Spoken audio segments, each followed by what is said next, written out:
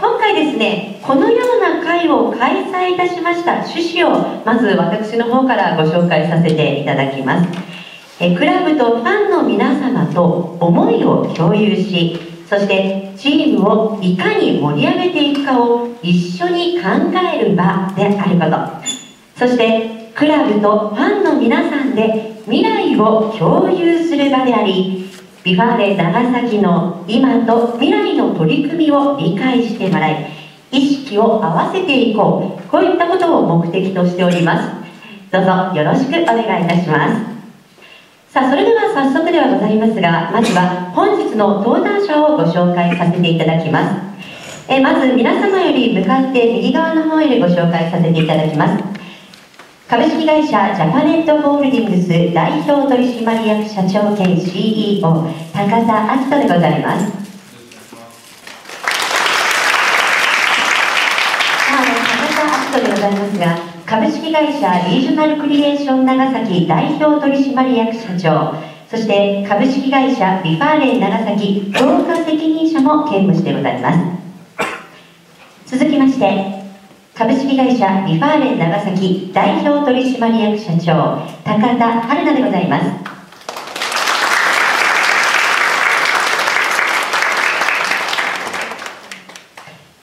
株式会社リファーレン長崎取締役由井正明でございます。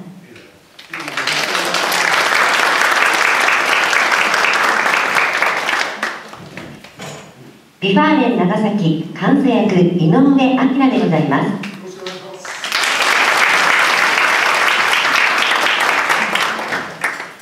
株式会社リファーレン長崎強化部長竹本義之でございます。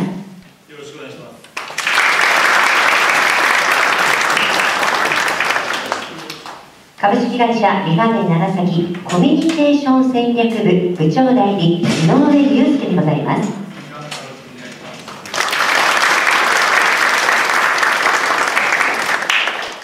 以上登壇者をご紹介させていただきました。それではまず株式会社リファーレン長崎代表取締役社長高田春菜より皆様にご挨拶を申し上げます。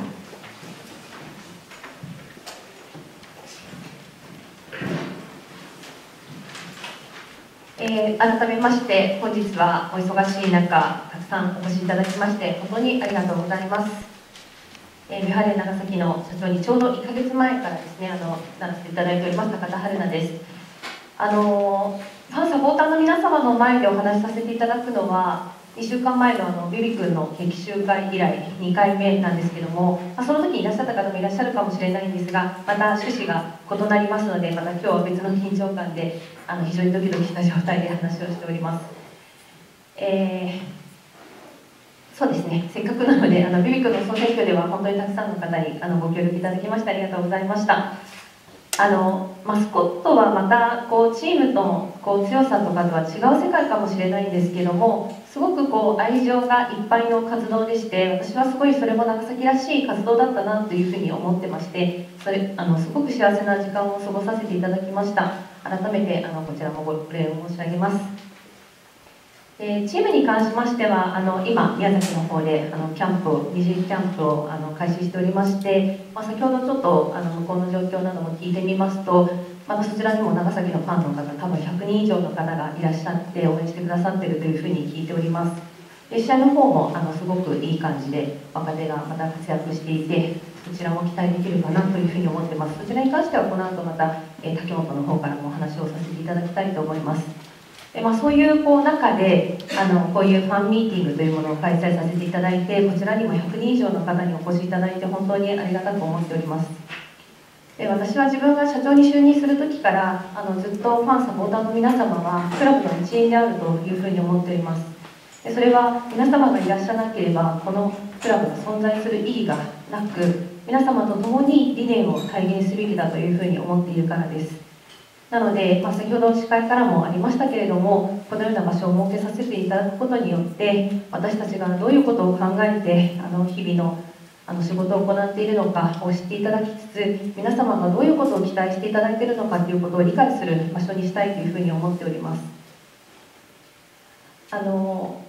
ファンミーティング自体は2017年に開催して以来ということになりますので、まあ、2年以上空いておりまして、えー、まあ、そちらに関してもあの事前にいただいたご質問の中ではなぜあのしばらく開催していなかったのかとこれから定期的に開催するのかというお声もいただいておりました。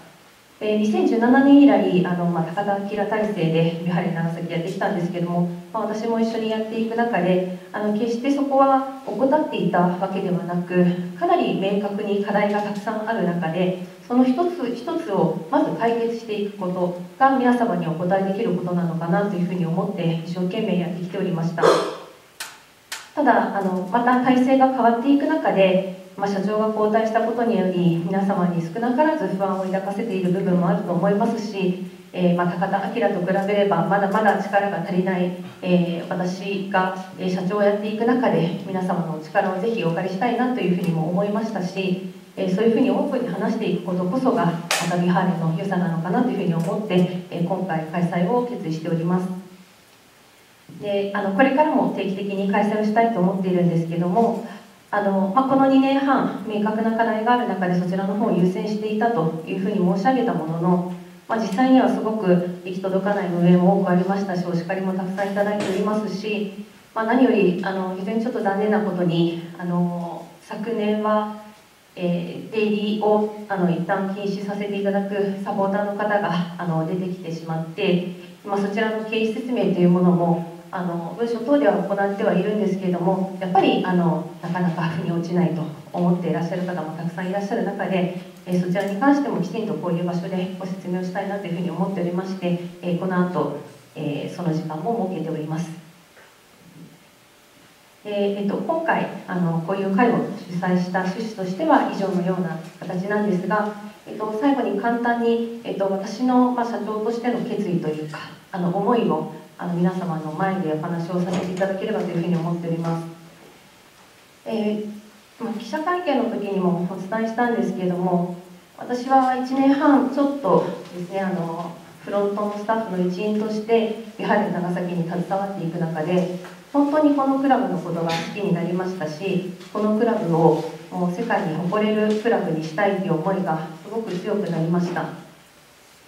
で、まあ、グループの中の人事というものもあってあの今回社長という立場でやらせていただくことになったんですけれども、まあ、それまでの間、まあ、1年半のあのスタッフとしての経験もありますがその前からあのジャパネットグループのジャパネットメディアクリエーションという、まあ、広告代理店の会社を、えー、計10年ぐらいあのやっておりましてビハレン長崎のあの選手紹介の VTR であったりとか特別番組であったりとか CM とかそういうものを作らせていただく機会が長くありました。でジャパネットはすごく伝えるということを大事にしている会社なんですけれども伝えていくためにはただ表面的によく見せるのではなくて本当にその中身を磨いていかなくてはいけないということを大事にしていますですので私たちは今までこうビハーレン長崎の良さを伝えていく立場にあったんですけどもその良さを本質的に理解をしてあのきちんと嘘じゃなく伝えていくということを大事にしていたんですけれども実際中に入ってやるっていうことは本当にそれをいいものにしていくっていう主体になるっていうことなのでより責任が重くなる。で大好きなクラブにそうやって携われることをすごく幸せだなと思うのと同時にその責任の重さというのを本当にこの1ヶ月間また改めてあの感じている日々です。で私はあのこのクラブを強く優しいクラブにしたいという言葉をあの使って説明をしました。それは私がこのクラブに対して感じている可能性というかあの魅力がやっぱりファンの皆様を筆頭とした愛情の深さ優しさにあるというふうに思っているからです。他のクラブではまた別の方針でとにかく強くあれということを大事にしていらっしゃるところもありますしそれはそれで素晴らしいことだと思います。やっぱり勝負の世界なので勝たなくては何も始まらないと思います。私たちもそれを目指しています。でも勝つために優しさが不要かっていう話はまた別だと思っていて優しさと強さは両立できるし優しいからこその強さが長崎にはあるというふうに思っています。それはあの本当に、まあ、不甲斐ない試合をしてしまっても一生懸命やった選手たちを褒めてくださることや、えー、相手チームのことをリスペクトする、まあ、そういった姿勢をあの日々の試合の中で皆様から感じられたからです。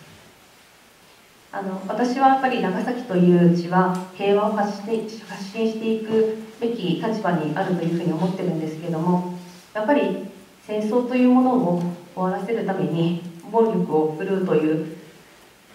手段を選びたくないというのは多分被爆地にいる長崎の私たちだからこそ一番感じていることだというふうに思っています。なので強くて優しいクラブを本当に皆様と一緒に作っていきたいというふうに考えております。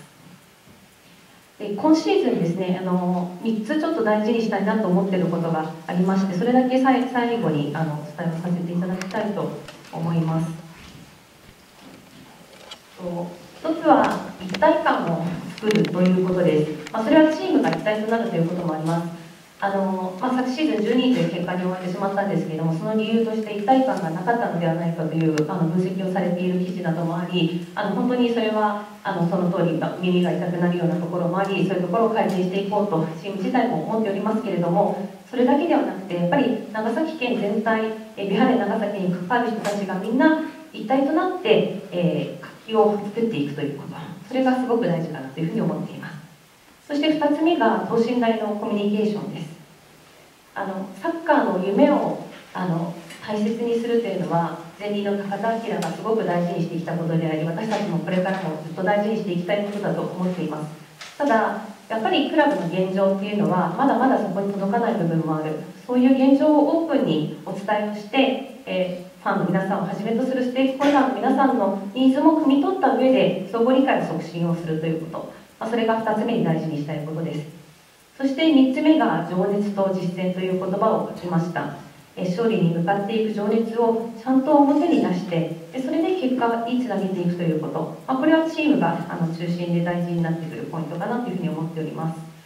えこの辺りをすごくあの大事にしてしていきたいシーズンにあだと思っているんですけれども あのきちんとしたスローガンとしての形は、え、この後予定しております。新体制発表会、えーと、まだ、えーと公式には発表していないんですけども2月16日に実施をする予定にしております、えー、週明けすぐに発表しますけれどもそちらの方でまた改めて、えー、皆様にお伝えできればというふうに思っております。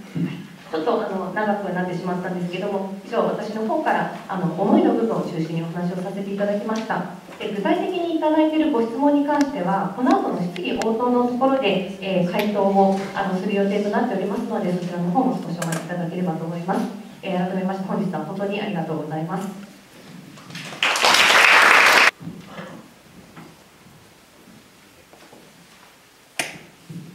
えー、皆様こんにちは、えー、日頃ビファーネを応援してくださって誠にありがとうございます。感謝申し上げます、えー、昨年、まあ、12位というところで皆様のご期待を裏切りました。でその中で、え今シーズンどのようにしたら、え J1 に昇格できるのか皆様の期待に、まあ、応えられるのかどうかというところを、えー、監督はじめ高田明人社長とものすごく考ええー、チームの強化をどう進めていくかを決めました。でその中で、えー、やはりビバーレン長崎に対してのマインド。このチームのためにどう戦っていくか。このチームのために何をもたらしてくれるのかという選手をまず去年のベースの選手を残しそこでさらにこのクラブで J1 昇格そしてアジアチャンピオンを目指していく。というチームを作るための手助けをしてくれる選手。そこに一緒に目標に向かっていく選手を集めました。その中で一体感を作らなければいけないしいろんな、えー、選手との関係性が作らなければいけません。その一体感を作るためにも新加入の選手にはやはりキャラクター本当にこのチームに馴染めるのかどうかそういったところを私の目で確認し選手とコミュニケーションを取り本当にこのチームに力になってくれる選手を10名新たに獲得しました。そういった趣旨の中、えー、強化を進めてまいりました。新人、まあ、新卒の選手加藤上中木田マイクマン。えそれぞれ、えー、高校大学を卒業して今シーズンからプロになります。その中でやはり大事にしてたところは、まあ、研究の強さ、えー、もちろんサッカーのところでも大事ですがそういう勝負の世界に入っていくためのベースといったところを、えー、しっかりと1年間かけて、えー、見抜きで加入に、まあ、持ってこれたというところです。で本人たちも、えー、長崎のトレーニングに参加した中で自分のサッカー観が変わったと。ここの地でプレーをしたいと。いう思いが重なりまして加入になりました。でプレーの方は、えーまあ、練習今トレーニングキャンプ入ってます、まあ、練習試合を重ね皆様の前で、えー、試合などしてる中で見ていただければよろしいかなと思ってます。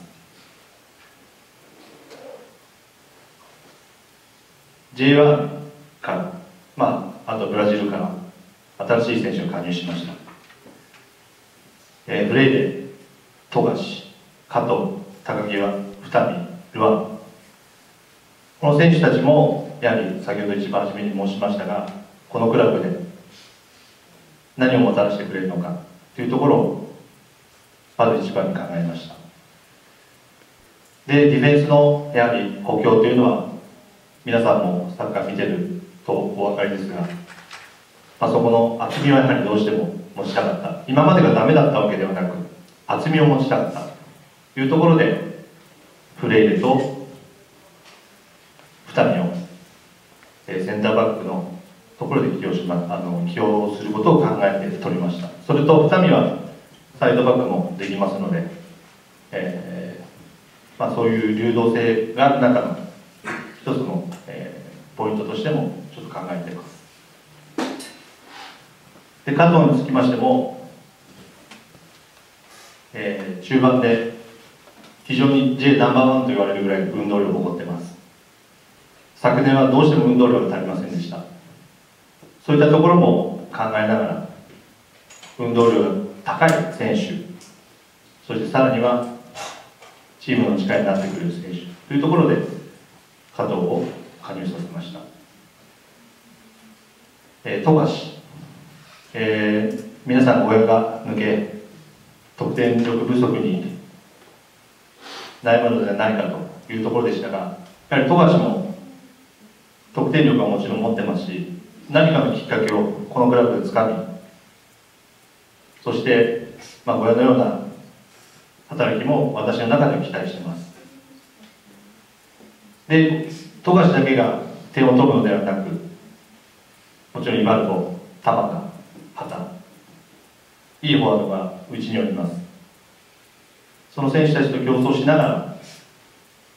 得点を重ね J2 の難しさは1人のフォワードに対してマークがきつくなります。私の考えでは少し分散した得点を取れる。どこからでも点を取れるイメージを持っています。去年は親が抑えられた時はなかなか点が取れませんでした。ですので富樫だけではなく今名前を挙げた5名もちろん新人のバイクマン上中もいます。そういったところから点が取れるチームにしていきたいなと思います。キーパーの高木は若くて伸び盛りです。ただ J リーグでの試合の経験がすごく浅いです。ただ能力だけは歴代の代表経験もありますしその中で経験を積んでます。国際国際経験もあります。今現時点で富澤、えー、徳重古賀といますけどもその中に割って入ってレギュラーを掴んでもらえるようなポテンシャルを持ってますのでそこでしっかりと競争してレギュラーを使ってもらいたいなと思っております。最後にルアン、えー、本当に皆さんが期待をしている選手だと思います。昨年ブラジルに渡りルアンの試合を目の前で見ました。もう本当に皆さんが期待している以上のものは出してくれると思います。でその中でもやキャラクターですね。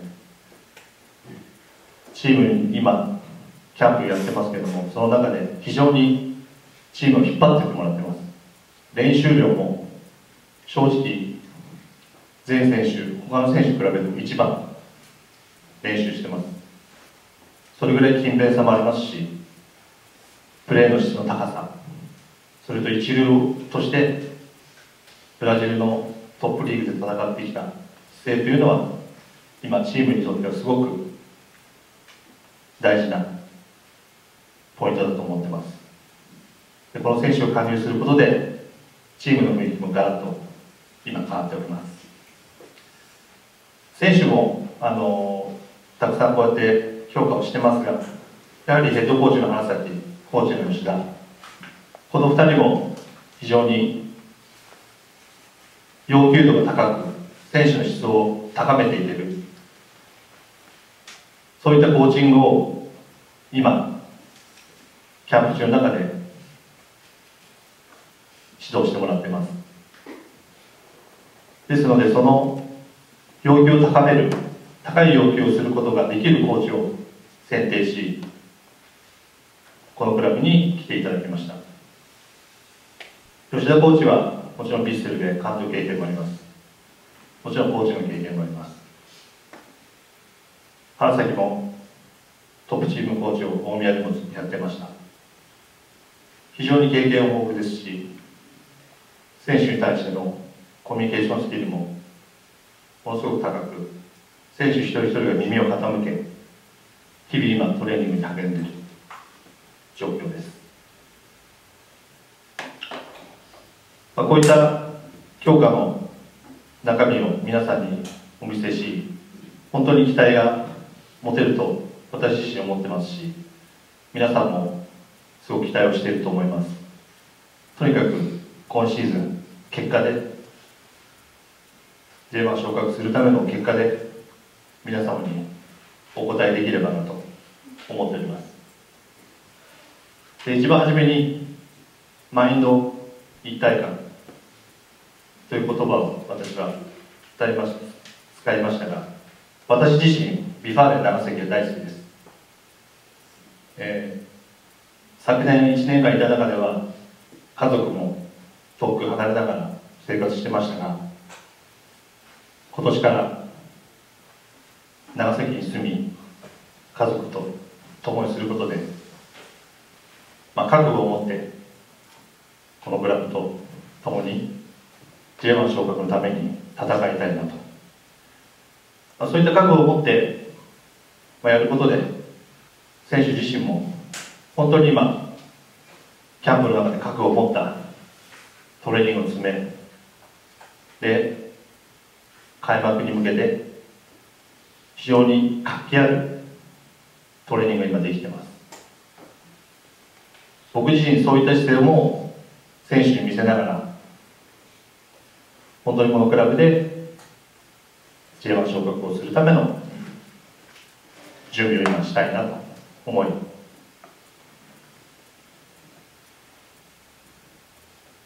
皆さんと12月ですね最後に J1 昇格というところを味わいたいなと思っていますので全身全霊かけてまいりますので皆さんご支援ご協力のほどよろしくお願いいたします。